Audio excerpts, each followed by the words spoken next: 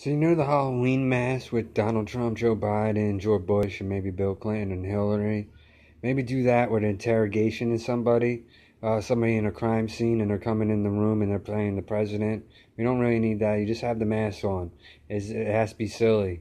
It has to be like unreal but still real. And the guy's a little not aware, aware of what's going on. Man and a woman. It is the postal man going postal. It's his head case getting evicted from his home, doing all that and it, the mother is still saying, I am a good school teacher.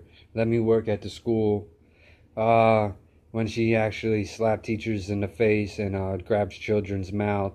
And, and the, the postal man getting evicted from his home. And they're interrogating them, the bad parents, the insufferable parents. Uh, and it's just the mask on with the president's on and we interrogate them for 45 minutes. And the Halloween mask, we'll put them to use. And this is how we do it. It should be a good bit. Uh, some jokes. People do like it sunny and funny. You've been through rain, seen the days, hearts in the rain.